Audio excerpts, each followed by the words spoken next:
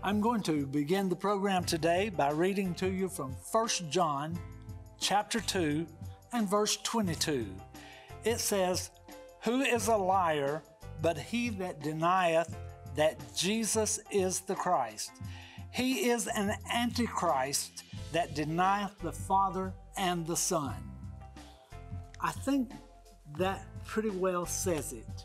Anybody who denies Father, Son, and Holy Spirit, they are false in, it, in what they're saying. They obviously are false believers if they're believers at all. They are mixed up. They need help. And that's why you and I are here to proclaim that Jesus is the Christ. Amen. Amen. Amen and amen. Miss Faye, pray, please. Father God, we come to you in Jesus' name. And we thank you, Lord Jesus, that you are our Christ. You are our Savior. You are the King of Kings. You are the Lord of Lords. We praise you for what you've done for us, what you did on Calvary, for our salvation. We thank you for your prayers that you're making intercession for us Yes. right now at the right hand of the Father. We thank you for the joy of the Lord that gives us strength every day.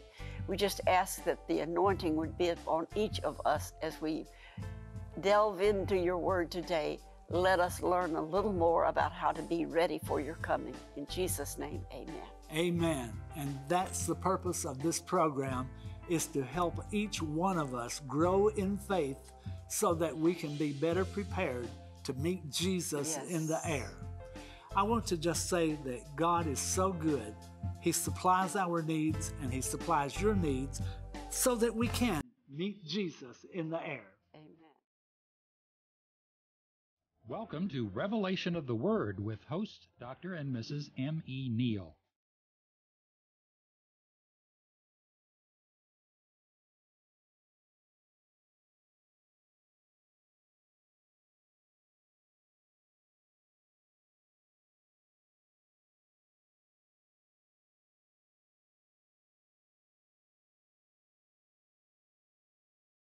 Folks, we are living in a world that denies who God is, who the Lord Jesus Christ is, and who the Holy Spirit is. We must not be deceived by those who adhere to platforms that are contrary to the Word of God. We must uphold the very principle of Christianity in everything that we say, everything that we do, and every place that we go. We cannot afford to miss being caught up in the air whenever Jesus calls, Come on up. We do not want to be left behind. Last week we talked about the Antichrist most of all, we talked about the spirit of the Antichrist that is prevalent in the world today that's causing the deception that's going on round about us. We are filled with the Spirit of Almighty God, and therefore greater is He that is within us than He that is within the world. So there is never a time that any of us need to bow our need, our knees to anything that's contrary to the Word of God. We must uphold the truth at all times, and we together in unity as believers must march forward as a mighty army, not carrying earthly kinds of weapons, but carrying spiritual weapons. For there is a war that's in existence right now in the heavenly. Angels are fighting against demon spirits right now so that we can get our prayers through to God and God can get through to us. Victory is ours. We do not have to yield to anything less than the power of Almighty God and the plan of salvation that He has granted to us. But the Antichrist spirit is here now trying to make believers turn away from God. And whenever the actual Antichrist himself comes, then the majority of the people that are left here on earth during the tribulation period will yield themselves totally to the will of the Antichrist and become partners with Satan in every way. A few will remember what they were taught in Sunday school and will turn to God, but that will be few compared to the number who will be eternally lost because they listen to the spirit of the Antichrist and then the Antichrist himself. Well, Miss Faye, let's see what the Gospels has to say about believers and about the non believers. So, if you would, let's go to Matthew 24, verses 4 and 5. Matthew 24, beginning with verse 4. And Jesus answered and said unto them, Take heed that no man deceive you. For many shall come in my name, saying, I am Christ, and shall deceive many. So we know that Jesus knew exactly what our day and time was going to be like.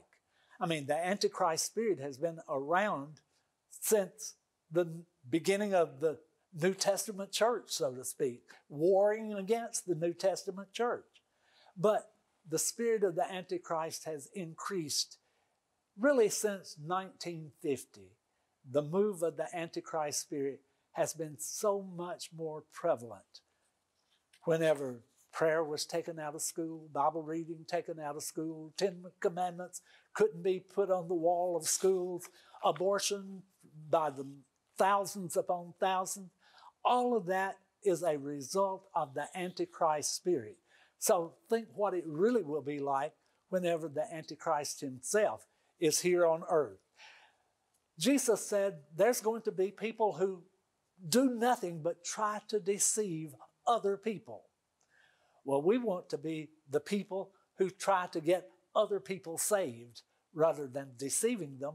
We want them to hear and to learn and to be filled with the truth of Almighty God. That's our job here and now. And we will be failing God if we do not share Jesus with the people that we come in contact with. Now, I don't mean going out and telling everybody, hey, you're going to hell. We don't do that. We show forth love to people. We live a life before people so that they can see the Jesus in us. That's the kind of preaching the word that I want us to do. And as we read a few programs ago, we're to be instant in season and out of season. All of the time, we are to be in some way building up the kingdom of Almighty God. Well, with all that being said, what does Mark have to say about this? Mark 13, verses 5 and 6, please. Mark 13, beginning verse 5.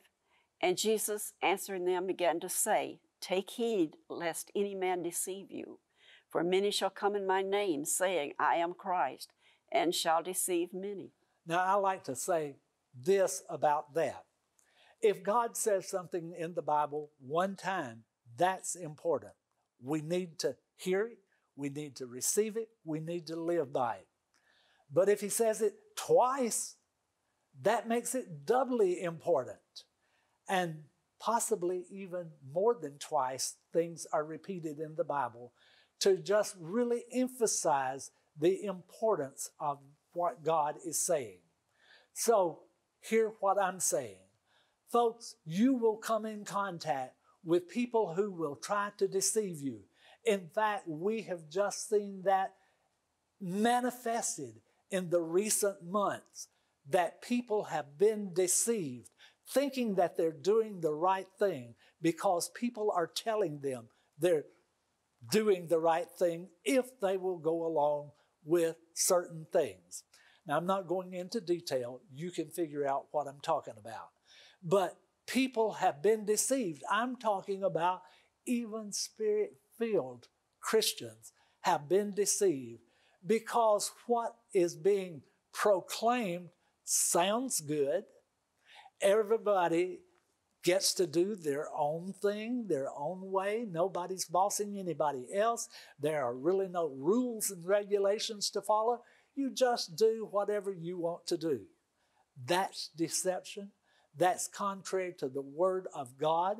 Don't believe it, don't accept it, don't fall for it, and overcome it at least in your life, and if possible, overcome it in the people and lives around you, in your city, in your state, in your country, and in your world. We are to live above that, knowing what the truth is and not falling for any deception. Let's move on to Luke, Miss Faye. Luke chapter 21, verse 8. Luke 21, verse 8.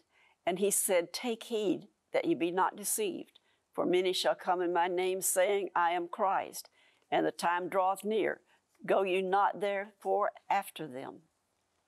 So, the Antichrist spirit is trying its best to pull people away from the Lord Jesus Christ. The Antichrist, according to the Apostle Paul, will be the man of lawlessness. I want to say that by, run that by you again. Paul says that the Antichrist will be the man who is without laws. Again, everybody doing their own things, writing, tearing things up, whatever.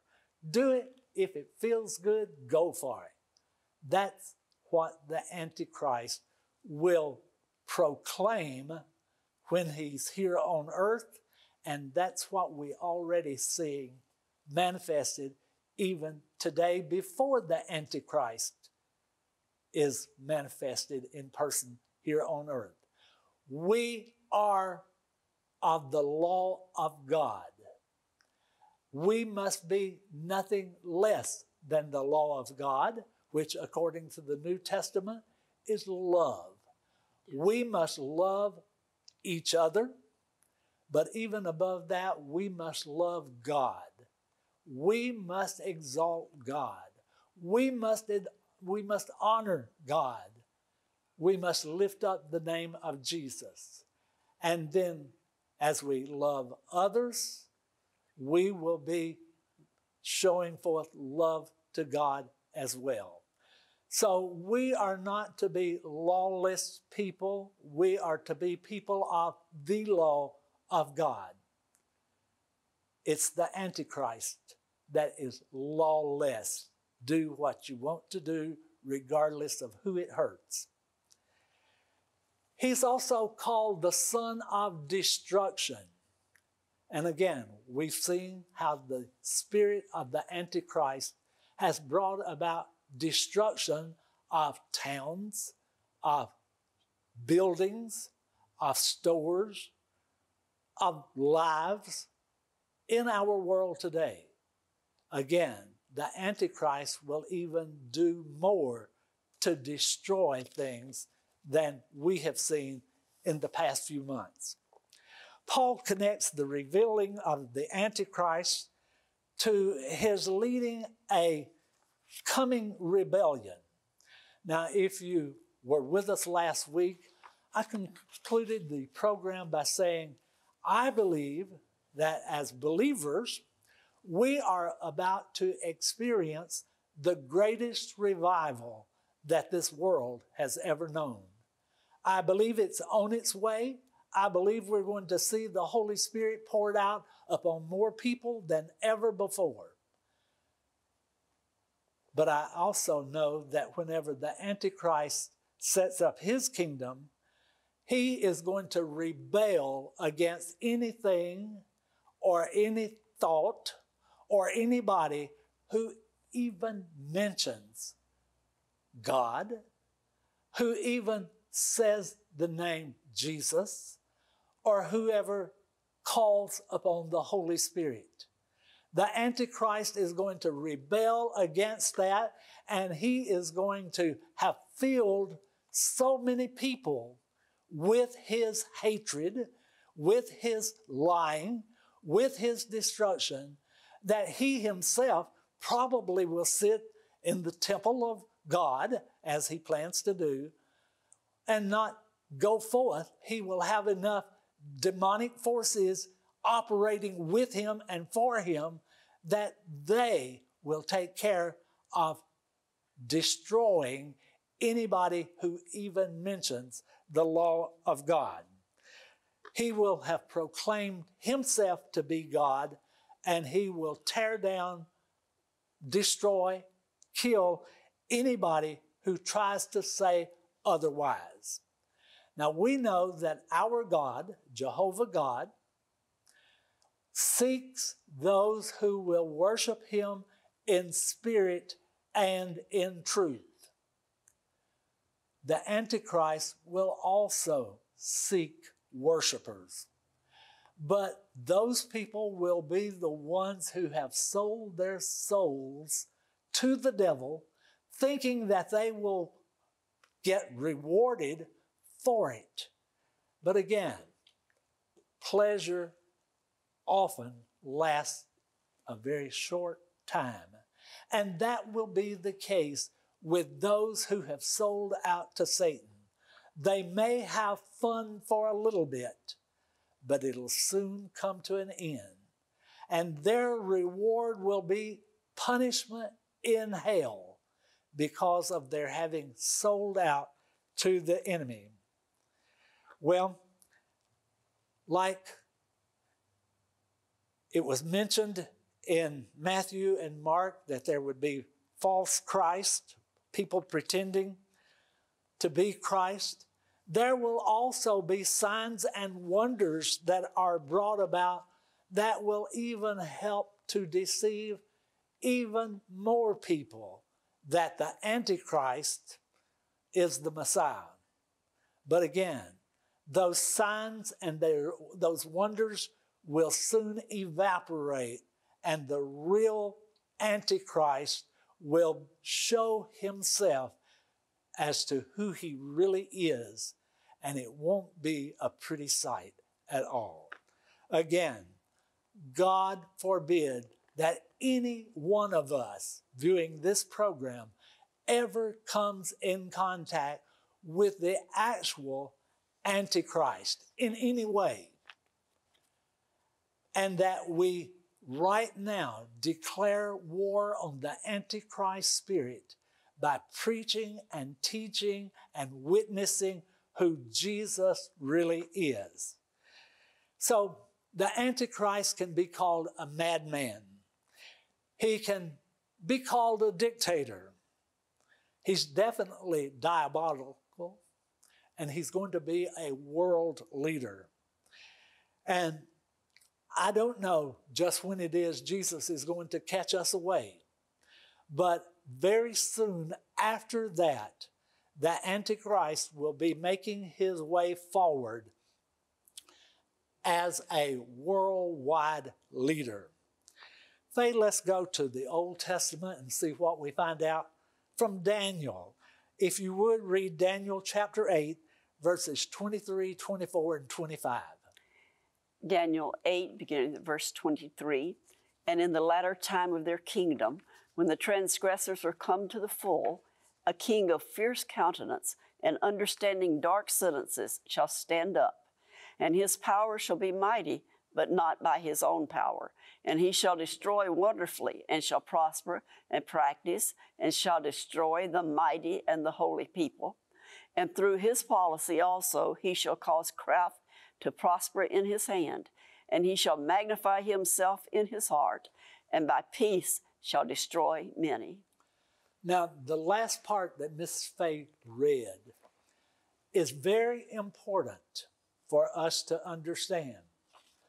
When the Antichrist makes his appearance on the scene, and even through the work that his spirit is doing right now, he is going to call himself a peacemaker. And yes, indeed, he is going to even make peace with the Jewish people and the people who are currently their enemies. He's going to actually do that. And everybody said, well, that would be really good.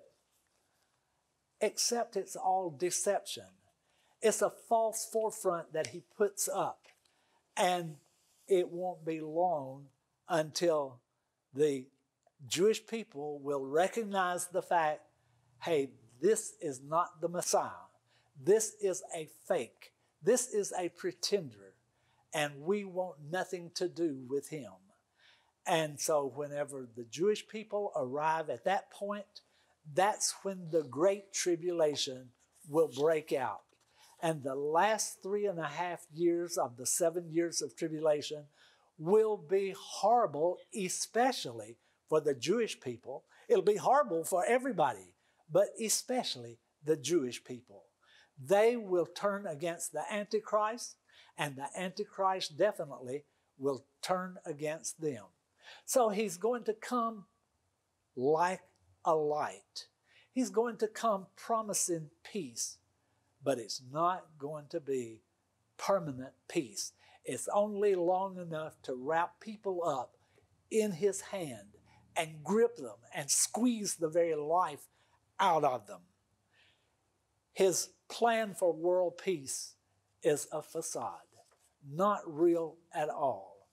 Again, the nations must realize that.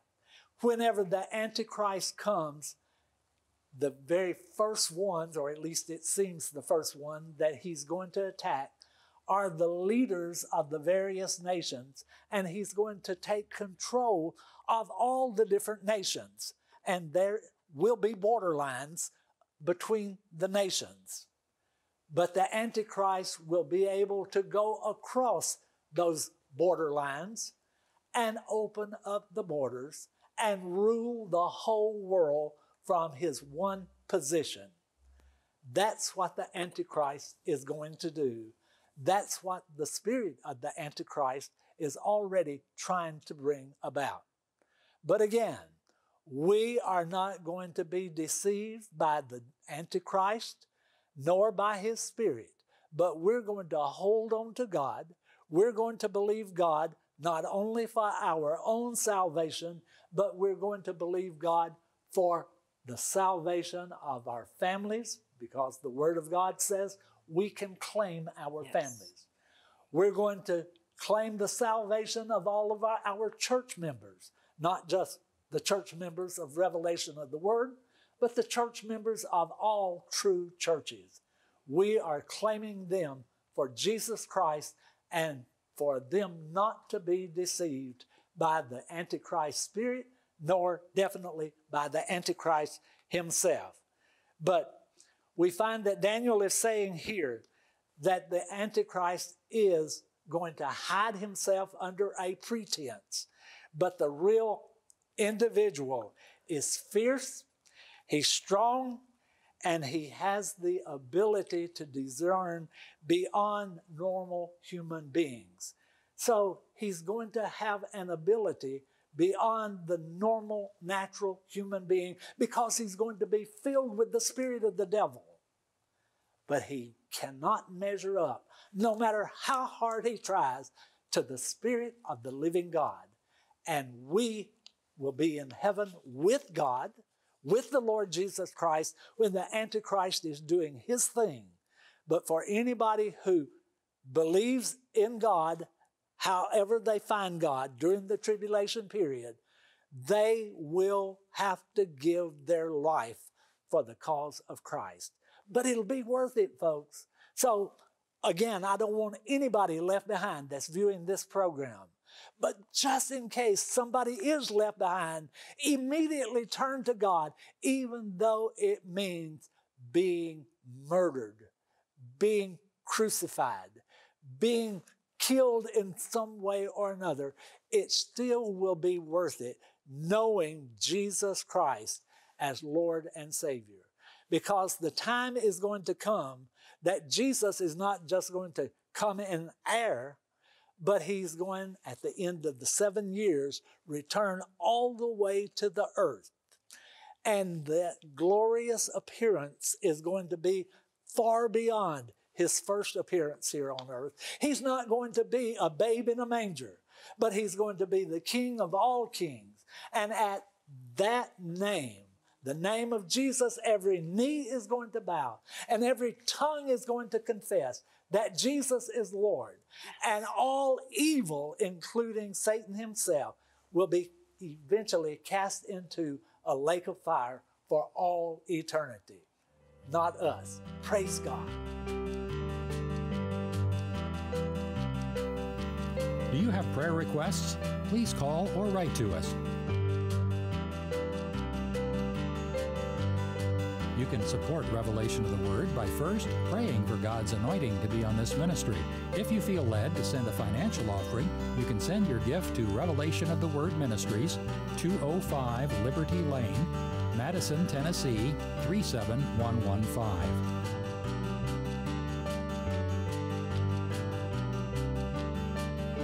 Everyone is invited to visit Revelation of the Word Church. Call, email, or write the Neals for more information. Now, back to Revelation of the Word. The Bible says that the meek shall inherit the earth. And whenever Jesus makes that glorious appearance at the end of the tribulation period, he is going to set up his kingdom here on earth, and it's going to be for a thousand years. And during that time, he's going to rule and reign, and of course, it'll be a kingdom of peace. Well, here's the well, all of it's exciting, but here's some exciting news. We're going to be right here with him. We're not going to stay up in heaven after those seven years. We're going to return with Jesus all the way to the earth, and we will be a part of the millennial kingdom that's taking place here on earth. And all sin is going to eventually be done away with, and Satan's going to be cast into the lake of fire, and there's going to be a new heaven and a new earth, and we'll get to all of that at some point in our study. But right now, I just want you to know, folks, we've got our best days ahead. Regardless of what the world's doing, we've got our best days ahead because we know who Jesus is. Hallelujah. Praise the Lord. Now, then, real quick, like, I want to say thank you to all of those who support this program. We appreciate it so very much. God bless you in abundance, and He will and does. But also, I want to encourage you to give to this TV station, WHTN. This is one of the most godly places that I know other than a, an actual church.